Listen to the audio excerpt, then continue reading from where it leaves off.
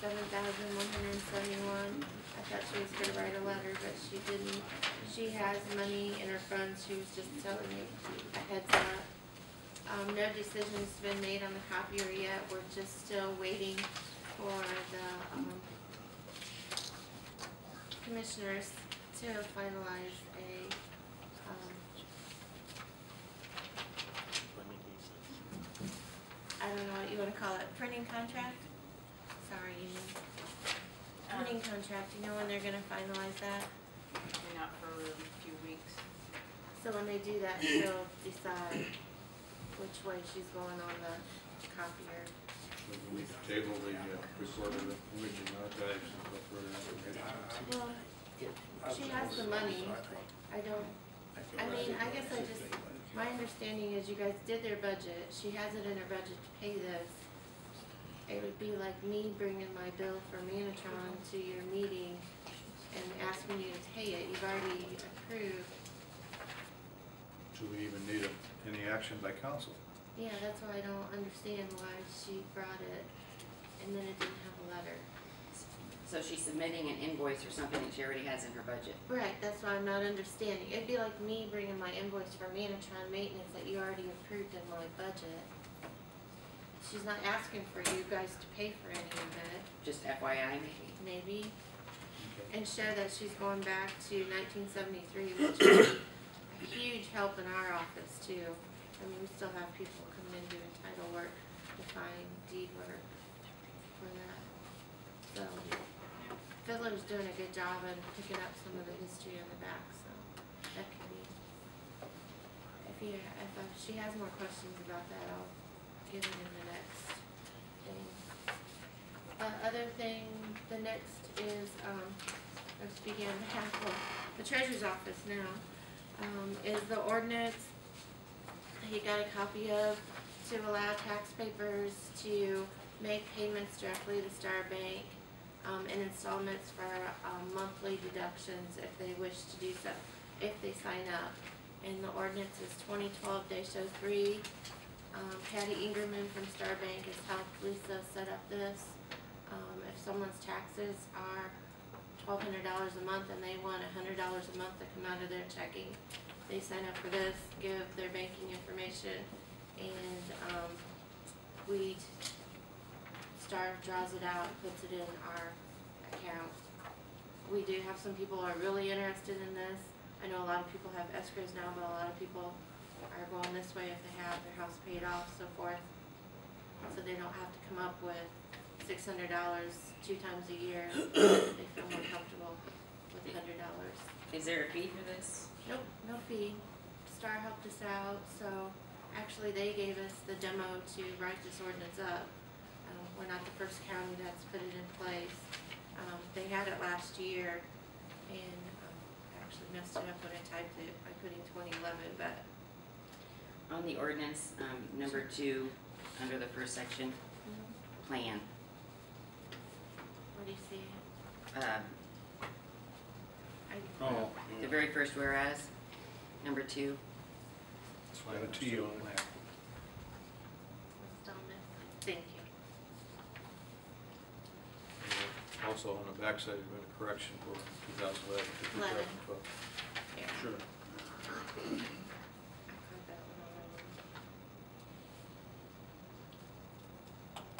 Entertain a motion for orders number 2012-03. I move we approve uh, ordinance number two thousand twelve dash oh three.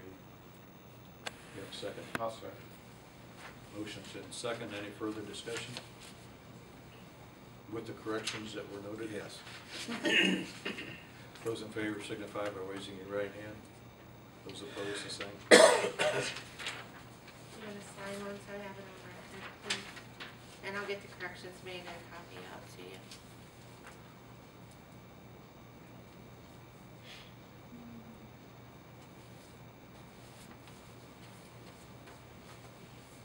Okay.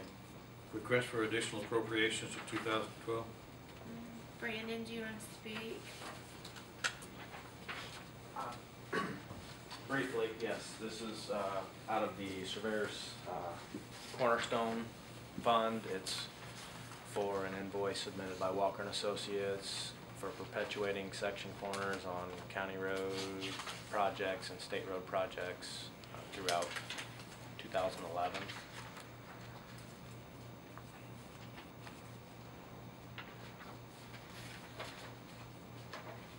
Well, this you have to do this, Brandon, I mean, make these changes, It's an ongoing thing. just keep it up to date. Well, some, some corners, um, haven't been perpetuated throughout the years.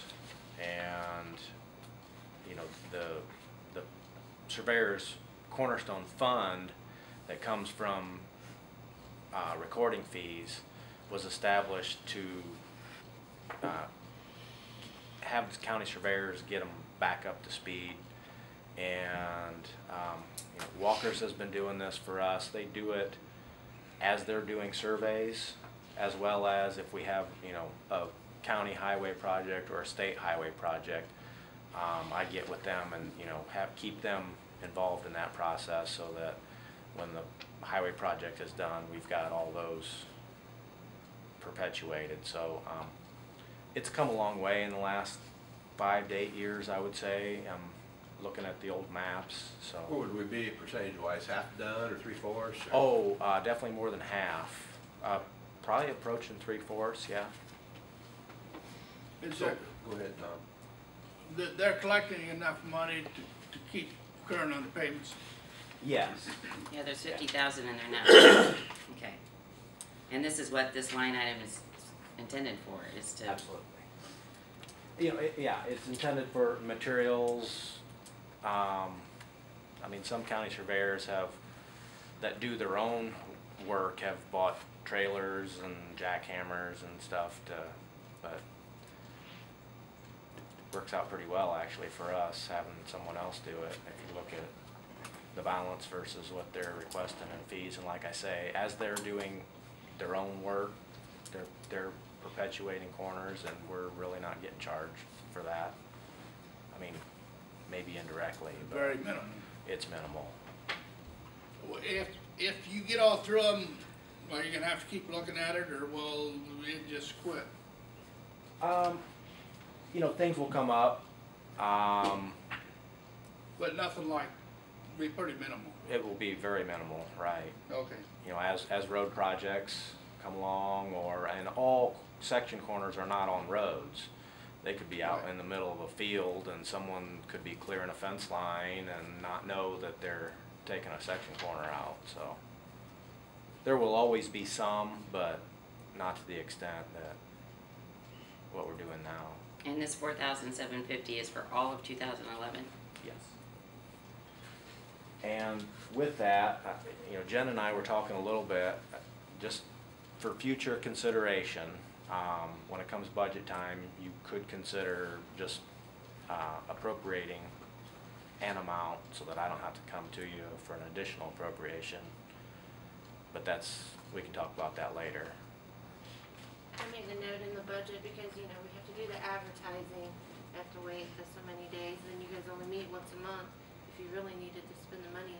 And he knows if we just forecast that we're gonna spend five thousand out of there, if he doesn't spend it, it doesn't go anywhere. Well, he just needs to put it in his budget. Well, I, it, it never had been. Now, I, I think maybe when Keith was here, he, at least I think I've seen somewhere in the files that maybe he came during budget time. But, you know, that, we I can do kinda- it or we don't have to. I kinda have to agree with Paula, I think it ought to be in your budget.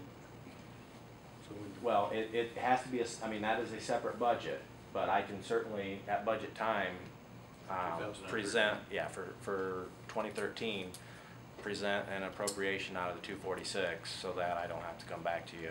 Right, cause you're gonna know in your position much more than we're gonna know, and then we can either approve it or say no. We'll address it as they come, come to the board. Yeah, it's line item two forty-six, so if you look on your, I gave you new fund balance, so it's got fifty thousand, five ten ninety-nine, and we don't have any appropriations out of it except this for the year, so. Can you use, Can that money be used anywhere else for anything in your budget that, that's got excessive funds in that apparently? Uh, it, it has to be used for section corner perpetuation. That fifty thousand, Yes. that's the only place it can be used in your budget. Well, it, it's not, I mean, when you say your budget, I'm thinking one oh six, the surveyor engineer okay. budget. This is two forty-six, this is like, uh, Cume Bridge is two oh three, that is a Dedicated money, it can't used anywhere else. Is that what you're saying? Yes, yes.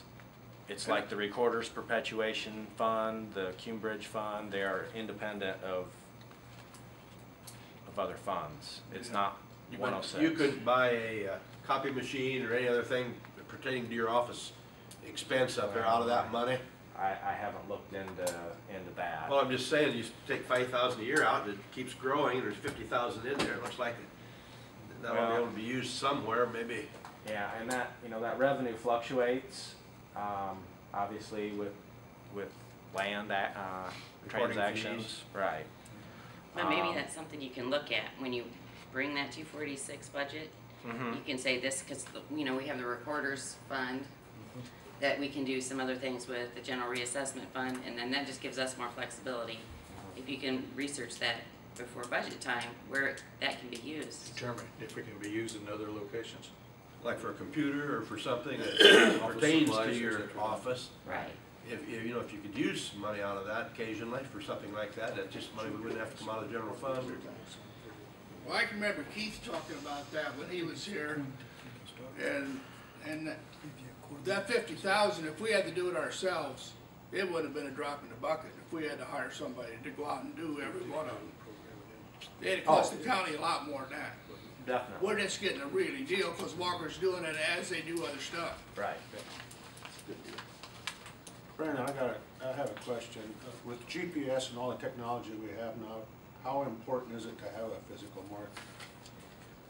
Um, it, it is very important because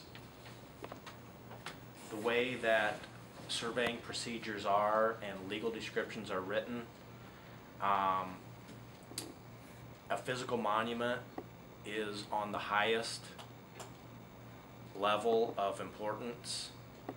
Um, for example, if, if I say, you know, commencing at blah blah, and then uh, at a, at a bearing and a distance of five hundred feet to the center of the road, but that distance is actually four hundred and ninety feet, the center of the road would control.